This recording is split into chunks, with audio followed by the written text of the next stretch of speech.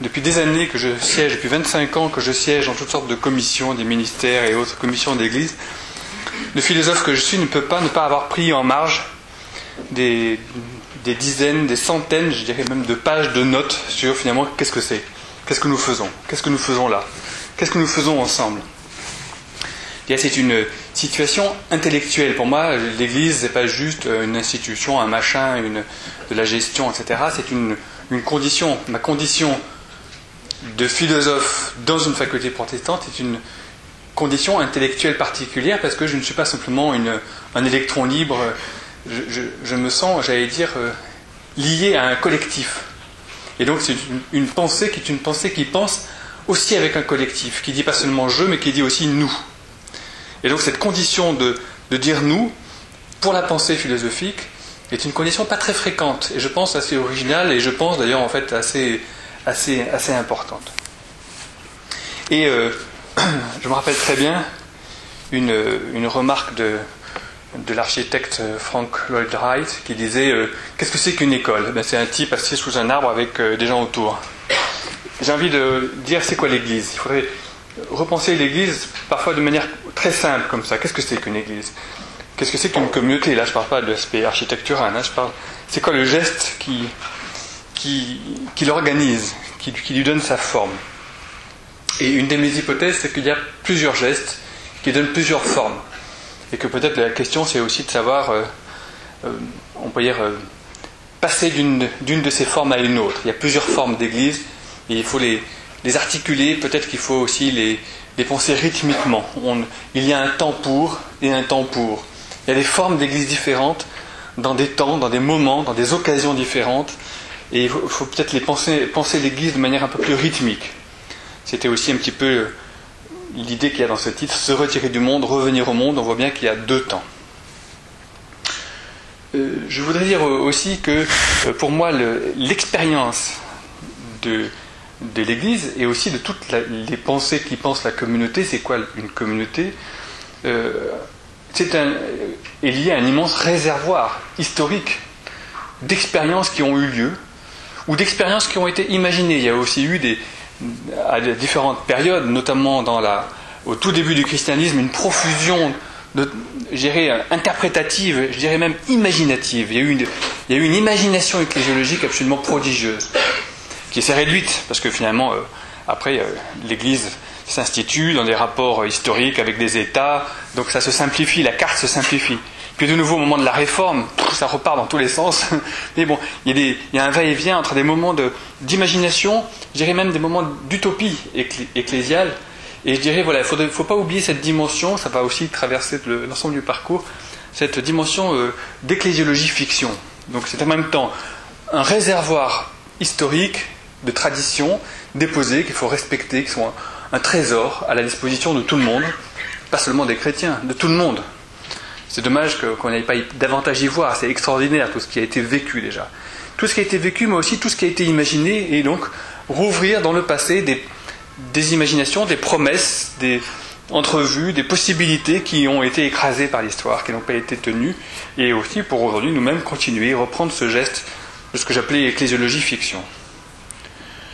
Euh,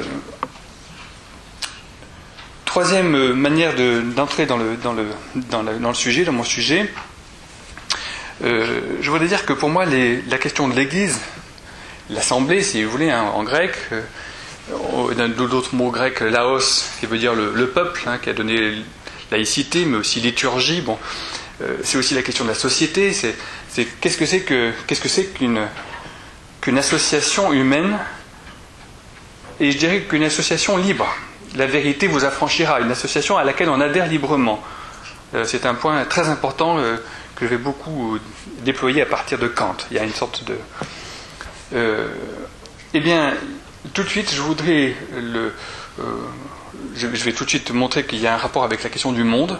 Il y a un rapport au monde, un dedans-dehors par rapport au monde, qui est, je crois, très caractéristique. Et ensuite, il y a ce que j'appelais tout à l'heure ce rythme, et il me semble que on peut penser trois, trois, trois figures, et elles vont aussi, comme elles vont être sous-jacentes à l'ensemble de mon propos, je voulais les signaler dès le début. Il y a une figure de l'Église qui est en quelque sorte retiré hors du monde, qui considère le monde comme, comme mauvais, comme, ou en tout cas comme quelque chose de quoi il faut se retirer. Il y a l'Église comme monde à, elle seule, l'Église monde, l'Église, bah, d'une certaine manière, la grande Église médiévale est une sorte d'Église monde.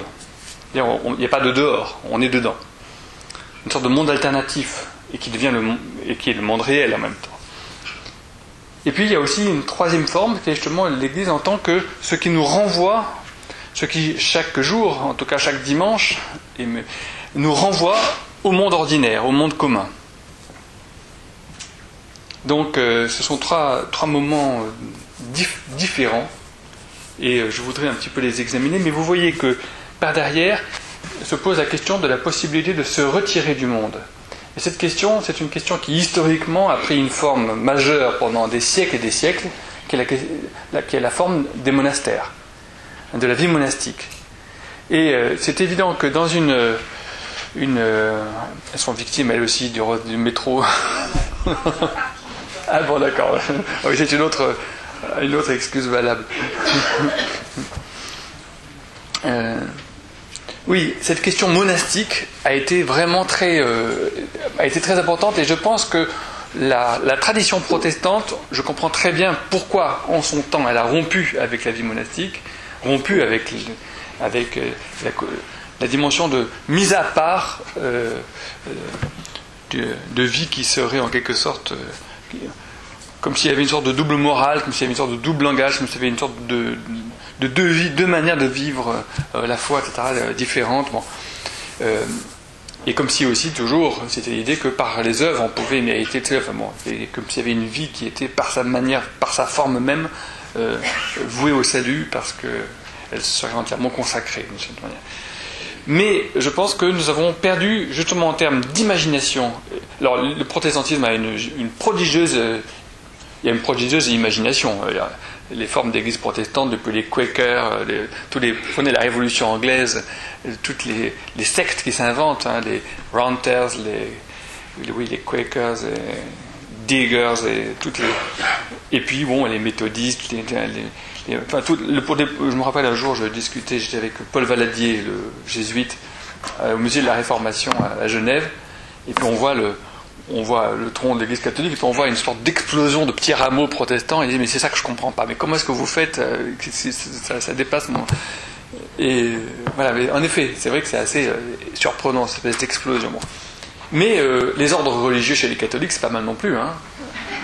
Y, a, y a, une profusion et entre eux c'est pareil aussi. Il y a vraiment il y a des différences, c'est des modes, c'est des règles différentes, et, etc.. On ne le voit plus tellement aujourd'hui parce que c'est un monde en pleine en perdition d'une certaine manière. Hein. Sauf quelques exceptions, c'est quand même un monde en perdition. Et je pense que voilà, nous sommes en train de peut-être de perdre quelque chose qui était un trésor. Euh, parce que euh, finalement, euh, nous avons besoin, à certains moments de nos vies individuelles et à certains moments de nos vies collectives, nous avons besoin de nous retirer du monde. Et, et voilà, donc c'est un petit peu ça la question que je, mets, que je pose à la clé de mon propos aujourd'hui. J'ai préparé beaucoup trop de choses. préparé de quoi rester avec vous pendant un mois. Une fois, j'avais emmené, j'avais organisé un voyage en Cappadoce j'avais emmené 30 étudiants de la faculté et 50 euh, lecteurs de, réforme euh, ensemble, donc 80 groupes de 80 euh, en, Cappadoce. Et on a fait justement en même temps une visite de la Cappadoce et avec Jacques Noël et, Raphaël Picon. des cours sur, sur l'Église. Donc en fait, par derrière ce que nous sommes, je suis en train de faire, ce que nous sommes en train de faire, il y avait, je pense, un petit peu le souvenir de cette, de, ce séjour, de ces dix jours où j'ai oublié combien, en Cappadoce. Et vous allez voir pourquoi, parce que pour moi, euh, il s'est. Ça, là, attendez, je.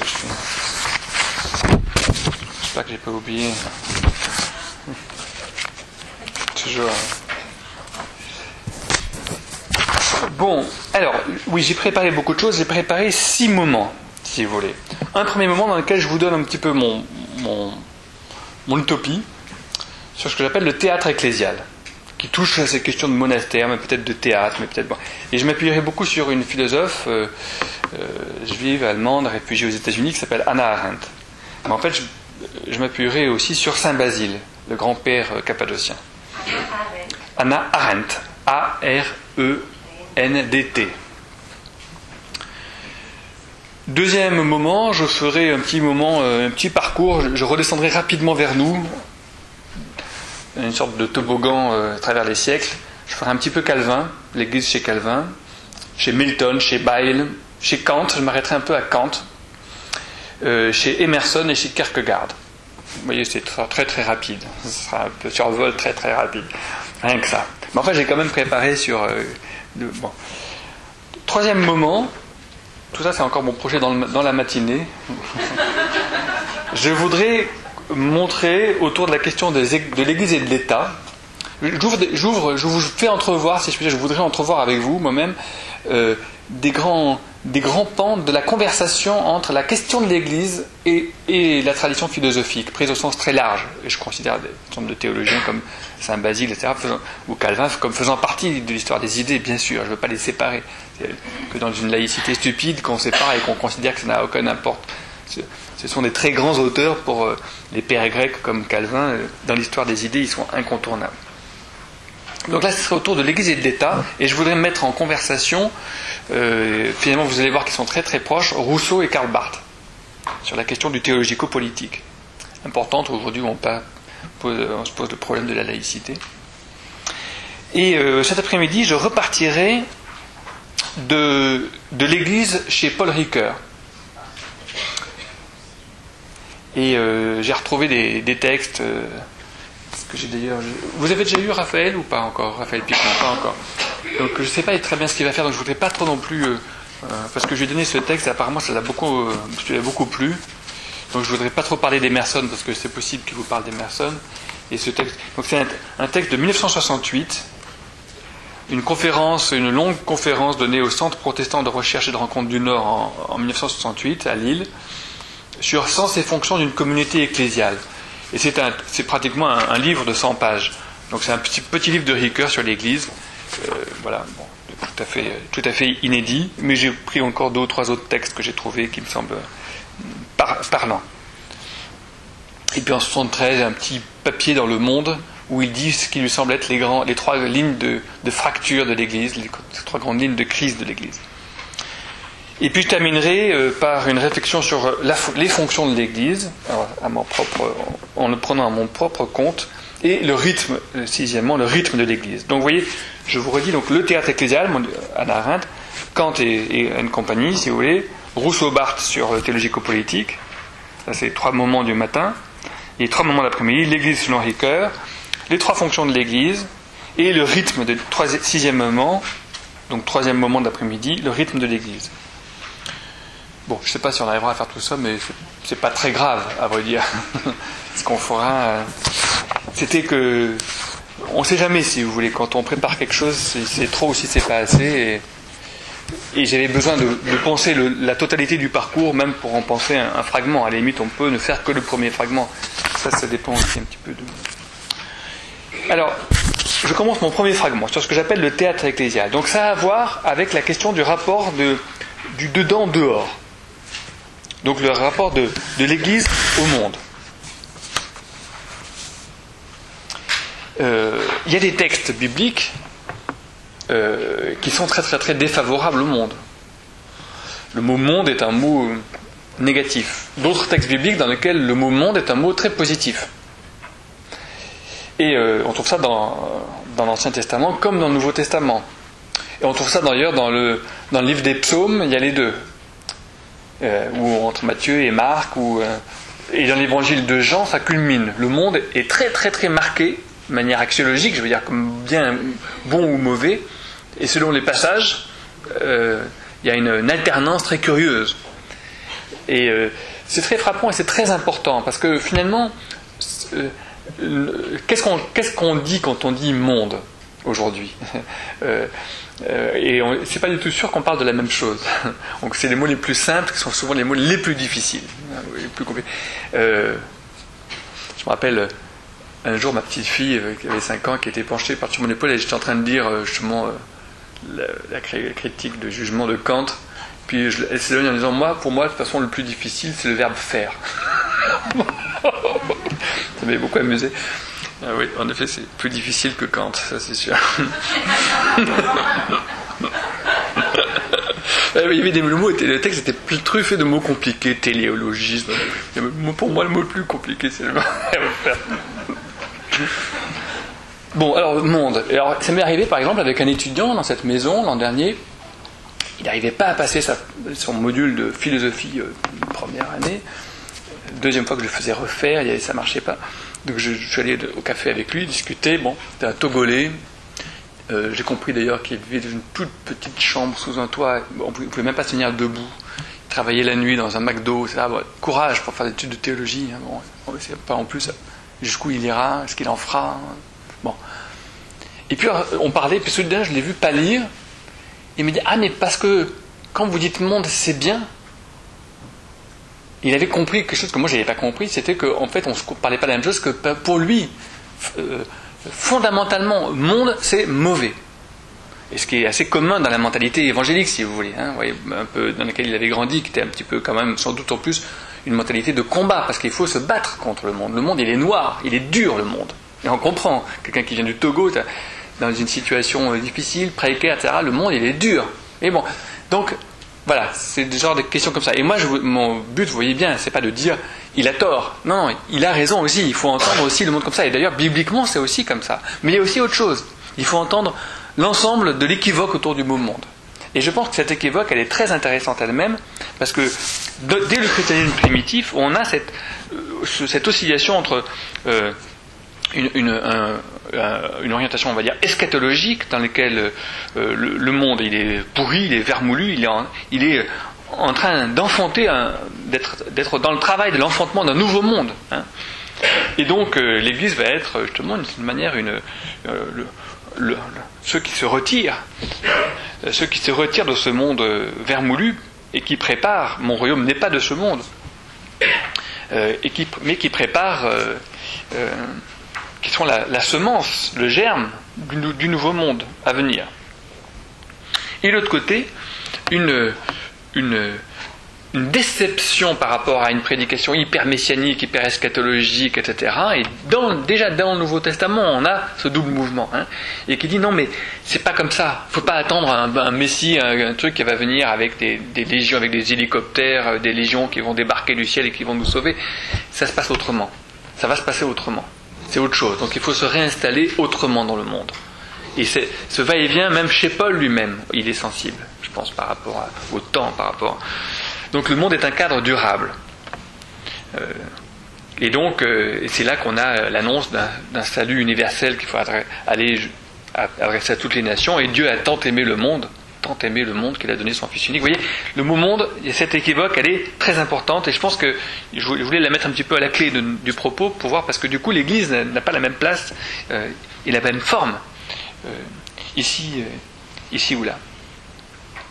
Et on a cette oscillation, elle est de nouveau très, très, très, j'irais dire, ravivée très fortement dans le, au moment de la réforme et dans l'oscillation protestante entre une tendance de séparation des deux mondes, et donc euh, une église de pur, on va dire, euh, extraordinaire dans un monde ordinaire, hein, donc qui, est dans la marge, qui est dans la dénonciation, et puis de l'autre côté ce qu'on appelait une ascèse intramondaine dans, dans laquelle on est avec les autres, on est dans le monde. Dieu a créé le monde, il aime le monde, il n'y a qu'un seul monde, il n'y a qu'un seul Seigneur, du monde. Ça, c'est le, côté Karl Barth et c'est aussi le côté Calvin d'une certaine manière. Je dirais chez Calvin aussi, il y a cette oscillation très forte. Et, euh, mais Calvin, par exemple, je, parle, parle, déjà de lui, mais ça vous donne une petite idée, c'est quelqu'un qui a commenté pratiquement tous les livres bibliques, mais pas l'Apocalypse. Parce qu'à l'époque où Calvin écrivait, il y avait Nostradamus, des prophètes, il y en avait trop. Et justement, le propre de Calvin, c'est de dire maintenant, ça suffit les prophètes. Moi, je ne suis pas prophète. Et donc, du coup, comme il dit qu'il n'est pas prophète, tout le monde dit, lui, c'est lui le vrai prophète. Vous voyez, bon, ça, c'est le problème des. Mais euh, l'idée, c'est, on se calme, on se calme. On est ici pour longtemps. On peut s'installer. Institution de la religion chrétienne. Vous voyez, c'est pas pour, les, pour trois jours qu'on fait ça. On n'écrit pas une institution de la religion chrétienne pour trois jours. On a changé le rapport au temps. juste avant la réforme, on est dans un rapport au temps de panique. C'est la fin du monde. Vous voyez, les, peintures de, l'époque, l'imaginaire de l'époque est un, imaginaire de, la fin du monde. On est dans un moment de. Et la réforme est un moment de désangoissement, de, euh, tranquillisation. Ce qui fait d'ailleurs qu'ils ont été perçus comme, euh, comme, sans doute ayant pactisé avec le diable. S'ils étaient si tranquilles que ça, c'était tous des, sorcières ou, des sorciers. Bon, voilà, donc un petit peu cette oscillation, cette tension dans le rapport au monde, elle est, euh, euh, fondamentale, mais elle continue aujourd'hui. Hein, je voudrais tout de suite l'annoncer, c'est que aujourd'hui nous avons un imaginaire d'un monde foutu, qui est très très très un monde perdu, un monde bousillé, un monde mauvais, un monde qui est très très répandu. Vous allez au cinéma, tous les grands films à succès Hein, on prépare une arche de salut qui va nous. Le monde, de toute façon, il, est submergé par un déluge, il va être criblé de météorites. Enfin, c'est la fin du monde. Ce monde, il, est, il ne mérite d'ailleurs que la destruction. Il est mauvais, il y a trop de malheur, il y a trop de. Vous bon, ce discours-là, c'est pas fini. Et c'est d'autant moins fini qu'on a pratiquement retrouvé, mis les pieds dans, dans, les empreintes, les, pieds de la civilisation technicienne d'aujourd'hui, euh, que ce soit au Japon, regardez les mangas, on a mis les pieds dans les, empreintes de la, de, la gnose, c'est-à-dire de l'idée que le monde est mauvais, le monde matériel est mauvais, et en fait c'est uniquement un savoir salutaire qui va nous sortir, va nous tirer hors de cette condition perdue, hein, et, va nous, va nous amener au salut. Et euh, c'est important pour comprendre d'ailleurs même le mot salut, c'est un mot gnostique, hein, il s'agit d'être sauvé d'eux. Hein. Euh, qui a été récupéré par les chrétiens en les retournant. Si on, oublie l'origine du mot salut qui, a à voir avec, euh, avec euh, cette sorte de sauvetage, hein, eh ben, on ne comprend pas tellement ce que, ça, veut dire.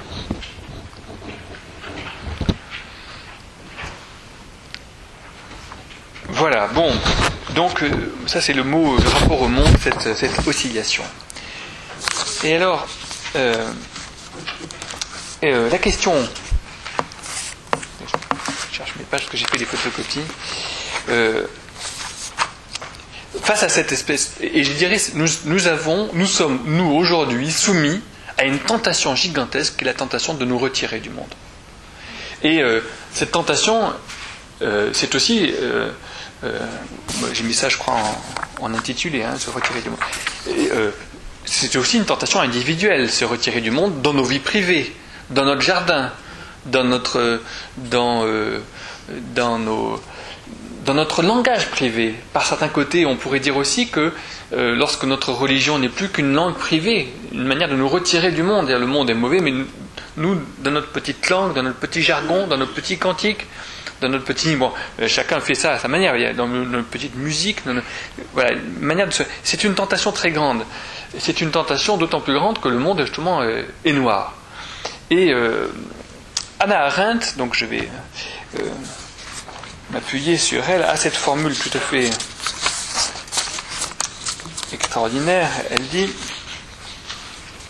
Oui, parce que la, tentation, euh, il est vrai que dans les sombres temps, c'est un texte sur euh, Lessing, à propos de l'humanité dans de sombres temps.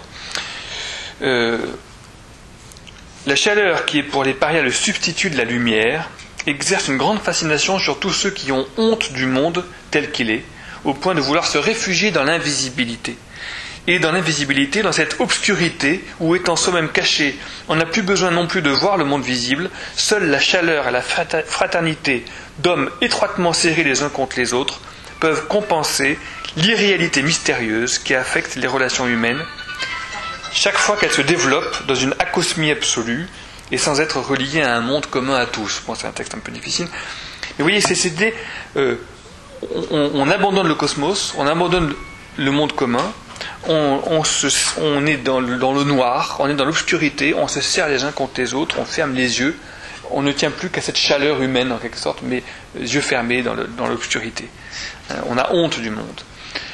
Vous voyez à quoi elle, fait allusion Elle fait allusion au, camp d'extermination, visiblement. C'est une auteure juive, etc. Et, elle dit, voilà, c'est ça, réduire l'humanité à ça, ça c'est une honte. Et le, propre de l'humanité, jusque dans les camps d'extermination, jusque dans les camps de concentration, c'est au contraire chaque fois qu'il y ait suffisamment de lumière pour qu'il y ait un écart entre les humains. Que sur chaque sujet, on puisse encore se, disputer. Je me rappelle très bien, un jour, j'avais fait un texte pour un collectif sur le, un livre de Wiesenthal sur le pardon. Euh, un petit récit qui était un récit une dispute de camp entre ceux qui disaient moi plus tard je ne me pardonnerai jamais et ceux qui disaient ben moi peut-être sans doute que je, je, pardonnerai. Et donc il y avait un débat dans le camp pour savoir s'ils allaient pardonner plus tard ou s'ils pardonnaient actuellement. Donc une sorte de fiction. Alors la question était posée euh, est-ce que quelle posture on prend? Donc vous voyez l'idée c'est que le monde il existe parce qu'il y a plusieurs points de vue. Si on fermait tous les yeux, s'il n'y avait plus d'écart entre nos points de vue, si on était tous ramenés au même dans l'obscurité de la même chaleur indivise, il n'y aurait plus de monde. Le monde serait aboli. C'est contre cela que Anna Arendt se, se, bagarre et elle écrit dans le même texte un peu plus haut Un nombre sans cesse croissant d'hommes dans les pays du monde occidental où depuis la fin de l'Antiquité la liberté de ne pas faire de politique a été pensée comme une des libertés fondamentales, le droit de se retirer, le droit d'aller dans un monastère par exemple a fait usage de cette liberté en se retirant du monde et de ses obligations, hein, se désengager. Ce retrait hors du monde n'est pas nécessairement un mal pour l'homme. Il peut même permettre à de grands talents de s'élever jusqu'au génie, et ainsi par un détour être encore utile au monde. Mais, c'est ça la phrase que je trouve très, très importante, très forte, mais avec chaque retrait de ce genre, se produit une perte en monde presque démontrable, presque calculable. Ce qui est perdu, c'est l'intervalle spécifique et irremplaçable qui aurait dû se former entre cet homme et ses semblables. Chaque fois que quelqu'un se retire, eh bien, c'est pas seulement lui qui se retire, c'est toutes les relations qu'il avait. Or, le monde, ce n'est jamais que l'ensemble de tous les écarts de point de vue, de tous les intervalles. Le monde, il est, tissé par tous les intervalles en tous les points de vue. En tous les points de vue humains, mais aussi les animaux, mais aussi peut-être, de certaine manière, les, astres, les poussières. Le monde est une, multiplication d'intervalles. Et quand on se retire, et, eh bien, on, on, ferme, on ferme des intervalles. Et le monde perd en densité. Le, monde perd en, en densité de, possibilités. Voilà, je dirais, la, question que je mets un petit peu euh, à la clé de, ce, propos. Et euh, je suis. Euh, conforté dans le fait de me poser cette question par une lettre de Saint Basile à des moines, la lettre, excusez-moi c'est un chiffre romain, la lettre 265, du, c'est le tome 3 des lettres de Saint Basile, chez, chez Budet. Et euh, il écrit donc à ces moines Nous avons en effet un grand désir de vous voir réunis et d'entendre dire de vous que la vie sans témoin ne vous satisfait pas, mais que plutôt vous acceptez tous d'être des gardiens de votre mutuelle et minutieuse vigilance, et aussi les témoins de vos traits de vertu. Vertu, c'est au sens grec, hein, c'est excellence, hein, ça veut presque dire bonheur, quoi, vos traits de joie. Quoi. Vertu, c'est arrêter. Euh, alors, ce petit passage, je, l'estime absolument capital, là encore, dans l'histoire des idées, parce que vous voyez dans quel contexte euh, Saint Basile intervient. Euh, fin de l'Empire, on est à la fin de, en gros, de l'Empire romain. Empire romain d'Orient pas encore, mais quelque part c'est un moment de, de grande crise. Il y a une énorme tentation, c'est la tentation de fuir le monde et de se retirer dans des monastères qui sont en fait surtout, qui ne sont pas des monastères justement, c'est un retrait dans une vie érémitique. On part au désert.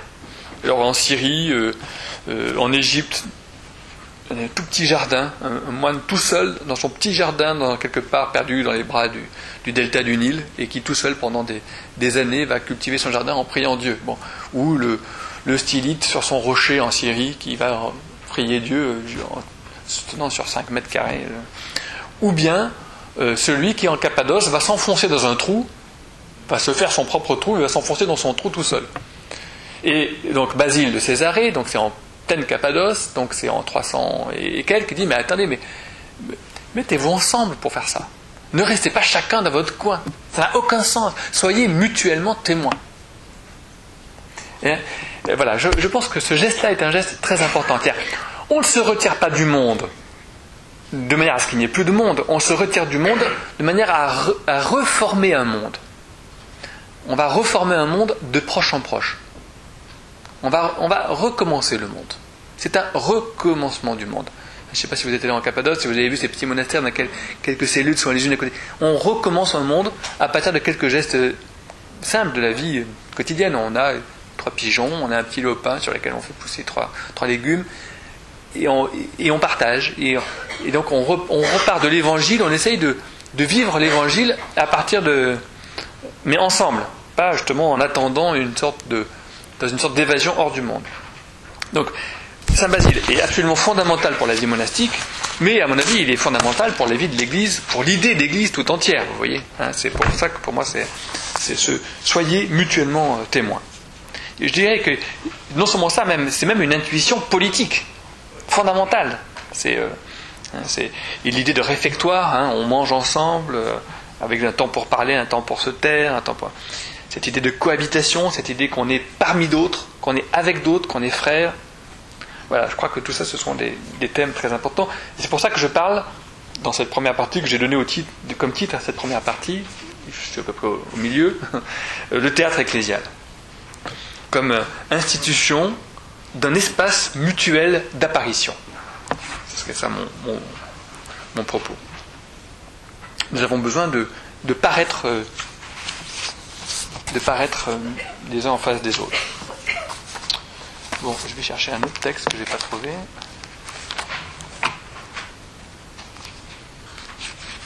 C'est pas mal.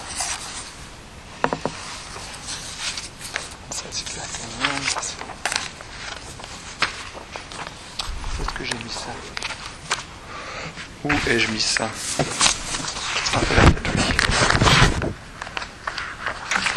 C'est un texte de Kant. Je mélange tout, hein. Dans la critique de la société paragraphe 41, il a une phrase, euh, un petit paragraphe euh, tout à fait adorable. Je sais pas l'idée que vous avez de Kant adorable. un homme abandonné sur une île déserte ne tenterait pour lui-même d'orner ni sa hutte, ni lui-même, ou de chercher des fleurs, encore moins de les planter pour s'en parer, hein, sur de parure. Bon.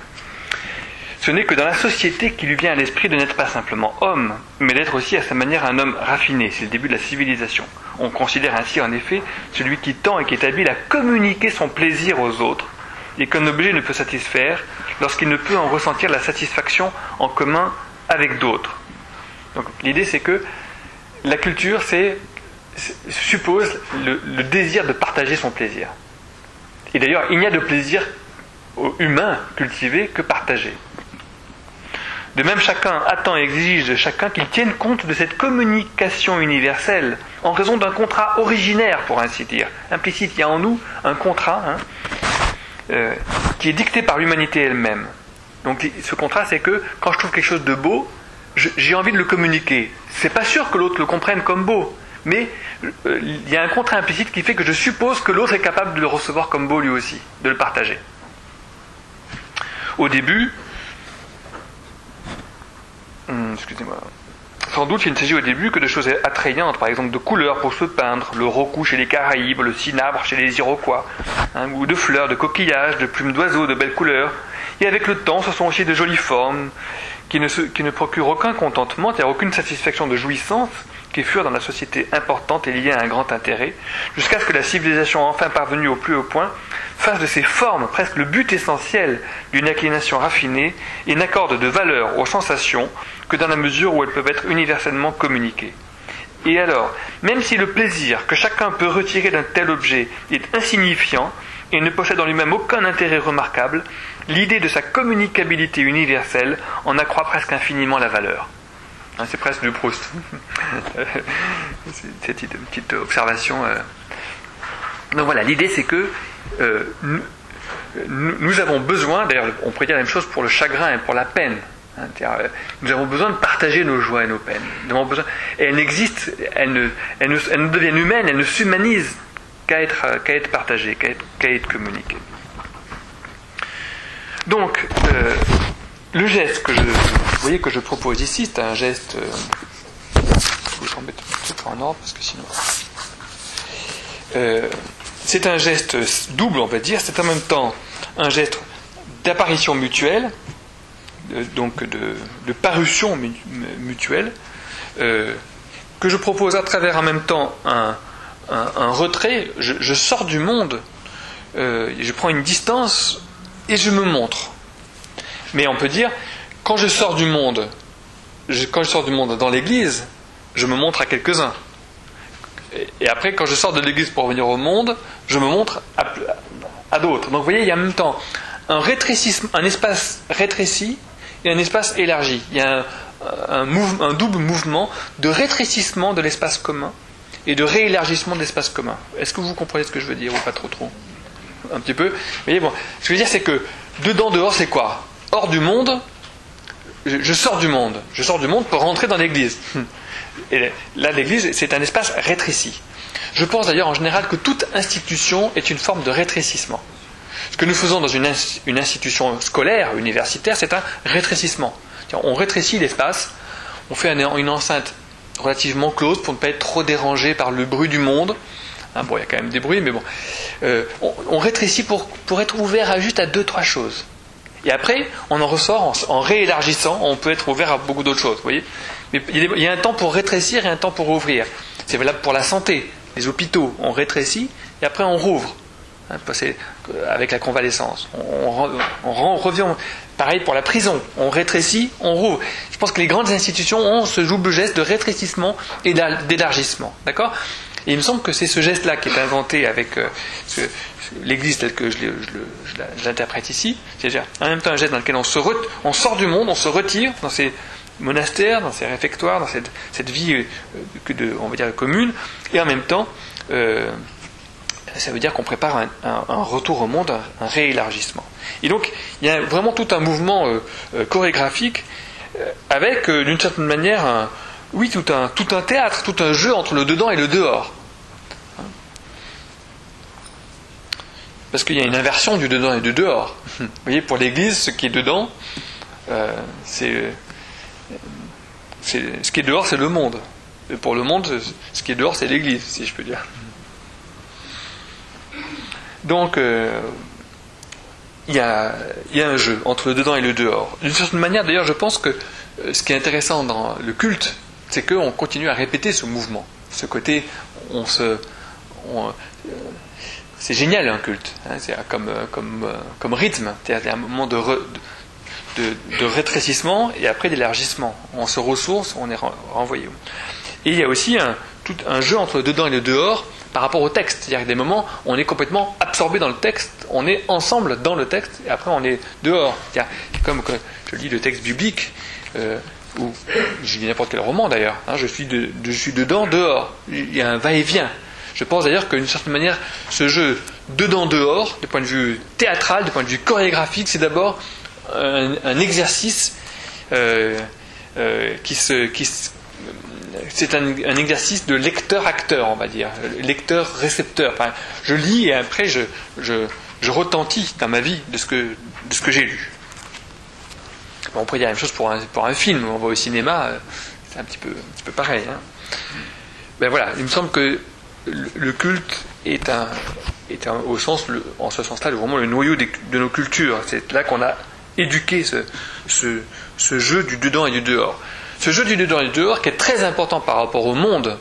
Euh, j'ai oublié de vous dire ça tout à l'heure, parce que imaginez qu'on dise que le monde est entièrement foutu, ben, il n'y a plus rien à faire, c'est le cynisme jette l'éponge, il n'y a plus rien à faire.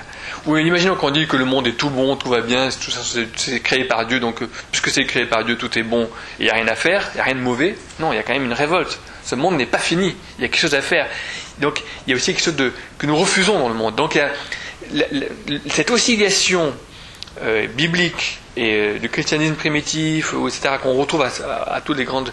Elle est, très importante par rapport au monde parce qu'elle crée ce va-et-vient dedans-dehors qui en même temps euh, nous fait accepter le monde. Le monde est quand même, c'est quand même, malgré tout, le monde euh, aimé par Dieu, mais en même temps nous, nous, nous, y fait résister nous, nous relance dans, dans un agir inachevé. Donc il y a un rythme, on va dire, de, de suspension et d'ouverture. Ce que j'ai rétrécissement, c'est vraiment un moment de suspension. L'espace réel, le temps réel, le monde réel est suspendu. Je dirais même, il faut même se dévêtir de soi-même. Il faut s'oublier soi-même. Calvin insiste sans cesse qu'il faut se vider premièrement de tout souci de soi. Il y a un, temps de suspension et après il y a un temps de, au contraire, on, réouvre un rapport à l'espace, au temps, au monde et, aux autres, et à soi-même. On, revêt une neuve subjectivité. C'est-à-dire que la subjectivité que j'ai reçue de la prédication évangélique vient se greffer sur, sur celui que, que été. Bah, je dirais que ça, c'est d'une certaine manière, d'ailleurs, le travail. C'est le geste simplement de la liturgie. La liturgie commence par dire non, commence par casser, et après elle dit oui et elle, bénit. Vous voyez, ce, petit mouvement de, rupture et de réouverture, c'est simplement le geste de la liturgie dans chaque, dans chaque culte. On, sent l'ébranlement du monde, c'est-à-dire le monde euh, n'est pas. Alors, euh, je voudrais dire quelques. J'en suis où là? Oh, Il faut quand même que j'aille un peu plus vite. si je veux faire tout ce que j'ai dit le, matin. Je voudrais terminer cette euh, première partie sur théâtre ecclésial. En fait, je vous ai dit l'essentiel. On pourrait aussi arrêter là. Mais j'ai préparé encore un tout petit peu sur Hannah Arendt. Vous voulez un petit peu ou Oui, vous en dis quelques, quelques mots. C'est parce que pour moi, il y a une, consonance entre Basile de Césarée et Hannah Arendt. Euh, euh, donc cette idée qu'Hannah Arendt a écrit un énorme livre contre le totalitarisme, avec cette idée que justement euh, et donc, euh, euh, le totalitarisme a surgi d'une période apocalyptique. Que ce soit le nazisme, que ce soit le stalinisme, etc. Ce sont des périodes apocalyptiques. on va faire un nouvel homme. Hein. le, monde est, le monde est vermoulu, le vieux monde est vermoulu, on va faire un nouvel homme. Avec un grand N et un grand H. Et du coup, les hommes sont, sont modélables à merci. On peut refaire. C'est que de la pâte. On peut faire ce qu'on veut avec cet homme. C'est contre ça qu'elle se bat. Et donc elle, propose un plaidoyer pour le monde ordinaire et pour l'idée que justement tout n'est pas possible, que tout n'est pas. qu'on ne va pas tout recommencer à zéro. Euh, je fais ici une parenthèse, c'est que d'une certaine manière, c'est une. Ça peut être une critique d'une certaine conception protestante du, nouvel homme, vous voyez, ou paulinienne ou luthérienne, au sens, enfin, au sens évangélique, en général, du born again comme, euh, voilà, on a tout jeté, on recommence tout à zéro. C'est une métaphore, il ne faut pas le prendre trop à la lettre, parce que euh, si on le prend à la lettre, c'est très très très grave. Hein, la, conversion comme lavage de cerveau total, vous voyez, comme recommencement total, peut devenir, euh, peut, peut faire des grands dégâts comme la nouvelle alliance, l'idée d'une nouvelle alliance qui casserait tout ce qui était là avant. On, va on passe à une nouvelle alliance, à un nouveau pacte avec Dieu, on peut tout détruire de ce monde, tous les anciens pactes, toutes les anciennes alliances, tous les anciens testaments, il n'y a plus rien de valable, on peut tous les jeter au feu, de toute façon, on a nous une nouvelle alliance, à zéro, sur une terre vierge, comme s'il n'y avait pas déjà des habitants. Vous voyez, bon, tout cet imaginaire-là, il faut faire attention à ça. Ça va avec cet imaginaire totalitaire, si vous voulez. Totalitaire, d'ailleurs, le mot totalitaire ça vient de nous, ça vient de nous protestants, ça vient de l'existentialisme protestant, ça vient de Kierkegaard, ça vient de, on le trouve chez, on trouve chez Karl Barth, on le trouve chez Bultmann, on trouve chez, c'est l'idée que la décision est totale, que ça change toute notre vie, que la foi elle est totale. Hein? le vocabulaire, c'est d'abord un vocabulaire théologique. Et chez Kierkegaard, c'est très important, avant d'être un vocabulaire politique. Bon, je ferme cette parenthèse. Euh, donc, Anna Arendt veut revenir au monde ordinaire. Elle se bat, vous l'avez entendu, contre cette tendance à se retirer du monde, à perdre ce monde commun, euh, à ne plus sentir le, besoin de partager le malheur, de partager la joie. Or, partager la joie est encore plus important que de partager le malheur, et peut-être encore plus difficile. Elle dit les vrais amis, dit Anna Arendt, sont ceux qui sont capables de partager nos joies. Et, euh, c'est encore plus rare. Ceux qui sont vraiment capables de manière désintéressée de partager nos joies. Et, euh, et donc, ça suppose qu'il y ait une sorte de, de, de, parution. Nous paraissons au monde. Le, monde est un théâtre d'apparition. C'est ça la grande idée de Hannah Arendt, que vous voyez donc un petit peu à la clé de l'ensemble de cet exposé, c'est que le monde, le monde, alors le monde, le monde au sens cosmique, est un théâtre d'apparition. Euh, et comment est-ce que nous paraissons au monde Par la naissance, simplement. Et donc, pour elle, le grand, euh, le phénomène énigmatique par excellence, c'est la, naissance. Le fait qu'il y ait du nouveau. Pourquoi est-ce qu'il y a du nouveau? Et pourquoi est-ce que, en dépit de tout le malheur, nous nous réjouissons des naissances? C'est ce que dit d'ailleurs Wilfred Monod dans son magnifique euh, Le problème du bien. Un gros livre, je ne sais pas si vous connaissez Wilfred Monod, il écrit un gros livre de 2000 pages pas, le problème du mal, le problème du bien. Alors pourquoi est-ce qu'il y a du bien En plus, il écrit ça pendant la Première Guerre mondiale. Euh, et, la question, vraiment la question tout à fait simple qu'il pose, c'est pourquoi est-ce qu'on continue, en dépit de tout ce que nous souffrons, pourquoi est-ce que nous continuons à nous réjouir des naissances? Qu'est-ce que ça veut dire?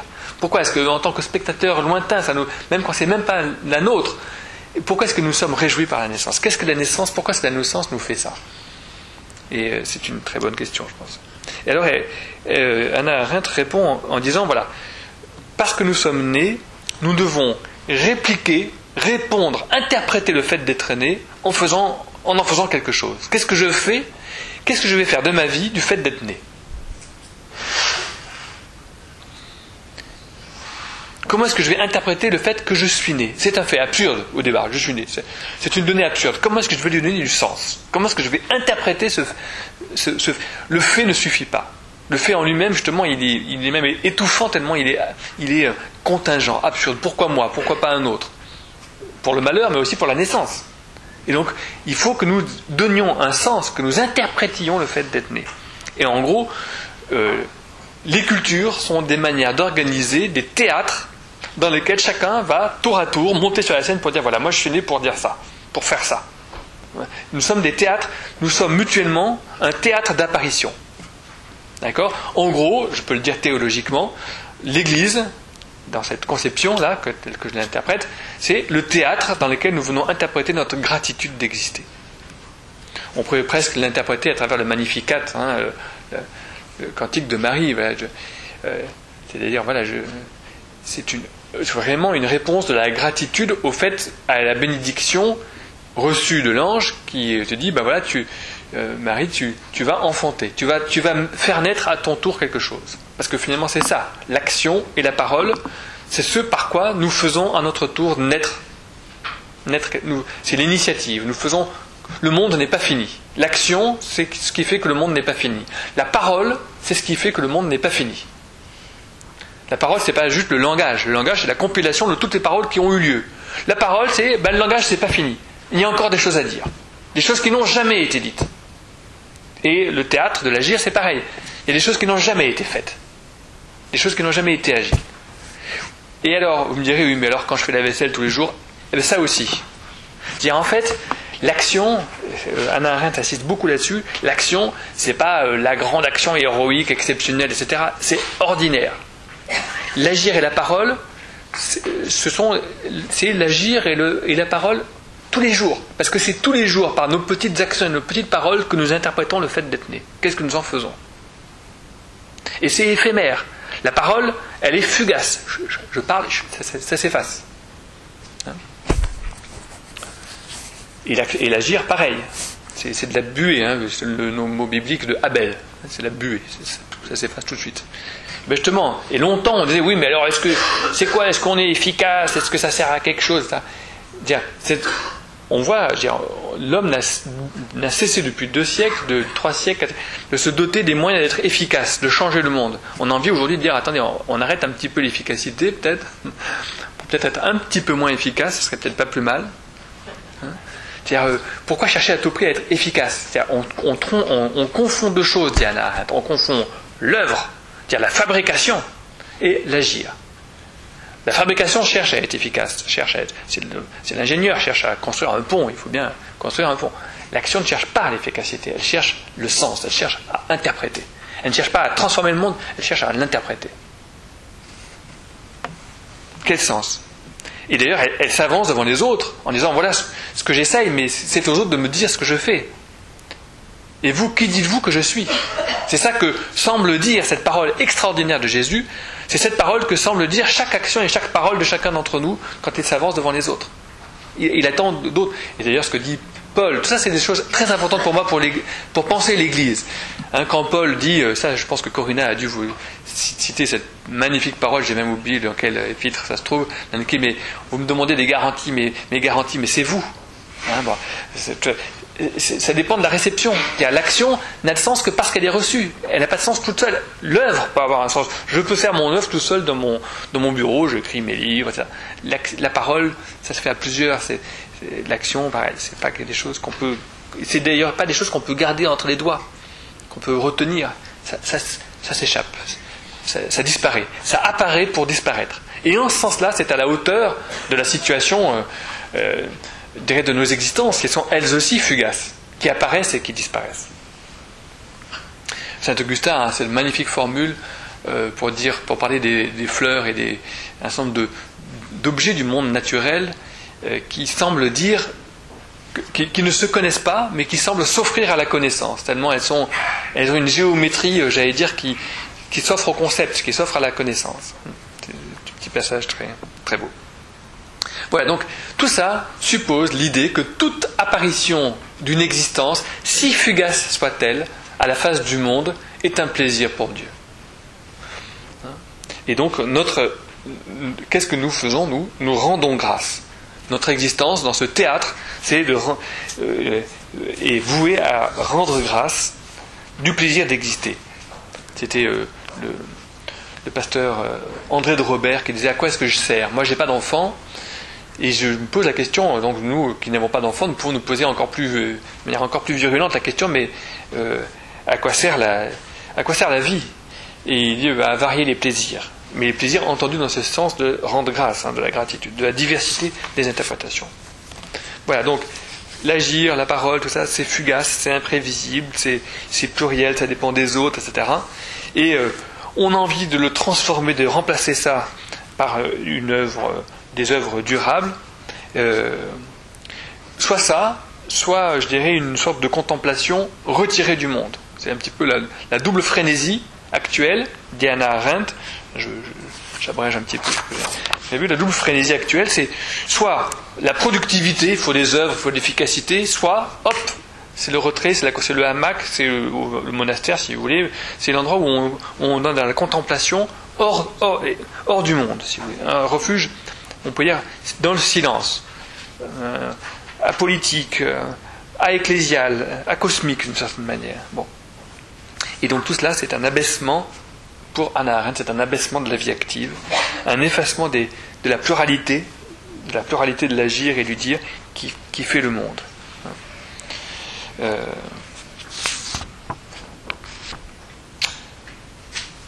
bon, je vais sans doute arrêter là. Non, mais peut-être encore une dernière chose de Hannah Arendt. Donc, pour elle, excusez-moi, euh, et après il faut qu'on fasse une pause. Pour elle, euh, les colonies grecques, euh, les, cités grecques sont, sont des, théâtres, ont été conçus le plus possible comme des théâtres de ce genre. Et elle observe que la, constitution de la cité grecque pouvait être faite d'ailleurs par des, par des métèques. C'est pas les lois ne sont pas faites par les citoyens. C'est très curieux dans la Grèce ancienne. Euh, il y avait par exemple euh, euh, machin chose de Syracuse. Ah oui, lui c'est un très bon artisan en, loi. Il sait très bien faire des lois, comme d'autres sauraient très bien faire des bateaux, ou comme un architecte. Donc on prenait éventuellement quelqu'un qui même éventuellement était un esclave. C'est un esclave, mais il a une super réputation de législateur. Hop, on le prend comme législateur, il fait une très bonne législation, on le paye très bien, il est très honoré. Peut-être même qu'on le livres de sa condition d'esclave, il peut se racheter, je sais pas moi. Ou bien c'est un artisan qui.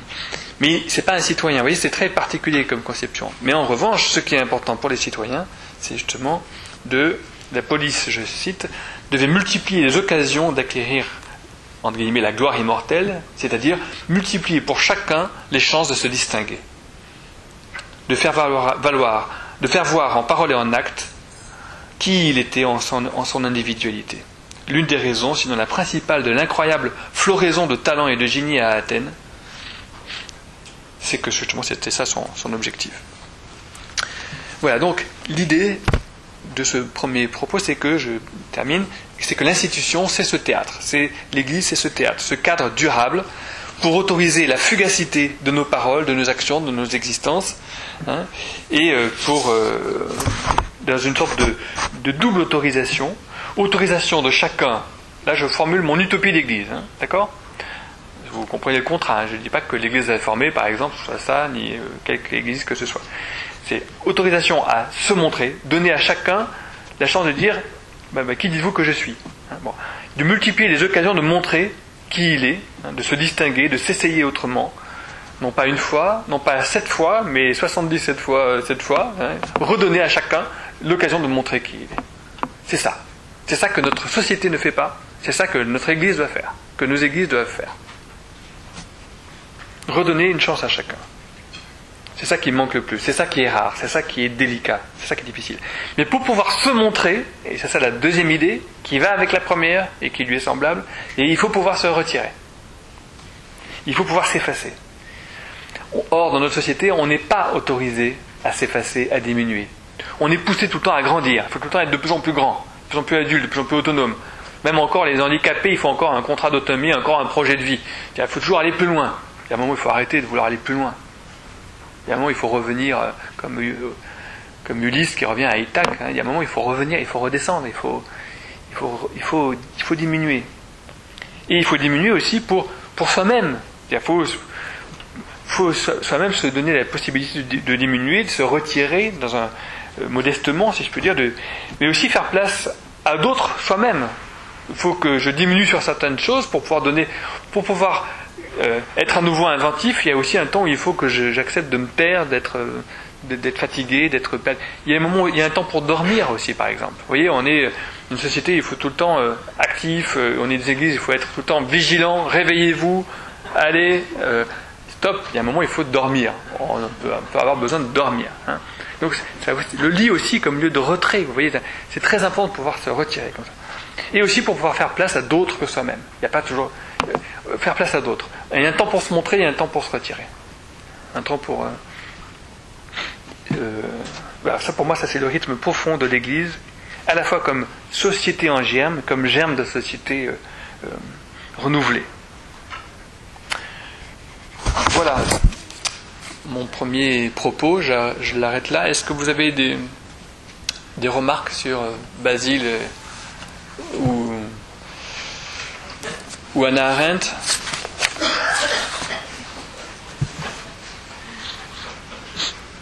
Des questions? Oui euh, Je voulais revenir sur la notion de monde. Oui. Est-ce qu'on n'aurait pas pu définir au départ Est-ce que c'est possible de dire On est parti sur le monde en général Oui. Euh, ça m'ennuie un peu parce que je pense que chacun a son propre monde. Oui. Et encore plus dans notre société actuelle. Oui. oui. Et euh, chacun ses besoins. Et euh, malheureusement, il n'y a pas de monde en général. Heureusement, j'en sais rien. Hmm. Et du coup, le va-et-vient entre se retirer et aller au monde, il peut être inversé. C'est-à-dire qu'en fait, là, j'ai pris le monde uniquement sur l'oscillation est-ce que le monde est mauvais ou est-ce que le monde est bon? Est-ce qu'il est détestable ou est-ce qu'il est aimable Du point de vue des humains comme du point de vue de Dieu. Donc là, au contraire, je tiens beaucoup à l'équivoque. Garder cet équivoque me semble important. Et de montrer à ceux qui sont d'un côté du univoque, dire on peut aussi l'entendre autrement. C'est important hein, pour des gens. Oui, il y a des guerriers aujourd'hui, euh, des guerriers fous qui sont prêts à faire sauter le monde, parce que de toute façon, ils sont tristes de leur vie et, ils ne laissent pas la possibilité à, d'autres d'être heureux du monde. Vous voyez, bon. Mais aussi, il y a peut-être des gens qui sont heureux, qui sont tellement heureux, qu'ils ne voient pas qu'il y en a d'autres qui sont malheureux à mourir et à tuer. Et il faut dire, il faut faire la place aux deux. Bon. Ça, c'est une première chose. Mais vous avez raison, il y a encore une, autre question que je n'ai pas posée, c'est la question de l'unité ou de la pluralité des mondes, si je puis dire. Est-ce qu'il y a un monde commun ou est-ce que chacun est dans son, euh, monde? Alors là, j'ai envie de dire pareil. C'est-à-dire qu'en même temps, on ne peut pas être. Euh, le monde, c'est un, concept qui suppose qu'il y a quelque chose comme quelque chose de commun, un monde ordinaire. Mais en même temps, nous n'y avons accès qu'à travers une pluralité de points de vue. C'est ça un petit peu ça qui est implicite dans l'idée de Hannah Arendt, qu'il y a des intervalles, c'est-à-dire qu'il y a des écarts de. Il n'y a de monde que parce qu'il y a deux points de vue sur le monde qui, ne peuvent pas coïncider. en ce moment, je n'ai pas le même point de vue sur cet espace dans lequel nous sommes que vous, et c'est pour ça qu'il y a un espace entre nous. Si nous avions tous le même point de vue, il n'y aurait pas de monde, il n'y aurait pas d'espace, il n'y aurait pas de temps non plus. Il y a temps parce qu'il y a des temps, parce qu'il y a, on est dans des temps différents. Alors c'était peut-être pas le sens, peut-être qu'il y a une signification purement linguistique. Non mais je comprends, c'est en fait